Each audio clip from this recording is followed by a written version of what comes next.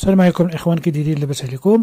افتتح رئيس الحكومة السيد عزيز أحنوش يوم الخميس بالمعمورة متحف كرة القدم المغربية على مساحة 2100 متر مربع بمقر الجامعة الملكية المغربية المنجز بشراكة بين الجامعة والمؤسسة الوطنية للمتاحف.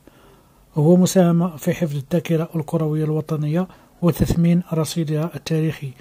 وأضاف أن هناك إجماع اليوم على أهمية إنشاء متحف يعيد ترتيب الذاكرة ويعرض تاريخ الكرة المغربية وأساطيرها وأنديتها وبنيتها التحتية.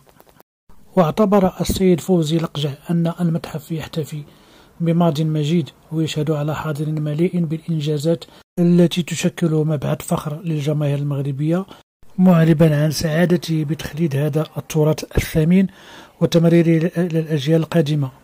ويهدف هذا المتحف إلى تسليط الضوء على تاريخ كرة القدم الوطنية الذي بدأ سنة 1906 وذلك من خلال عرض صور فوتوغرافية وتحف تتعلق بكرة القدم بما يوفر للجميع وخاصة الشباب فرصة للتعرف على إنجازات اللاعبين المغاربة.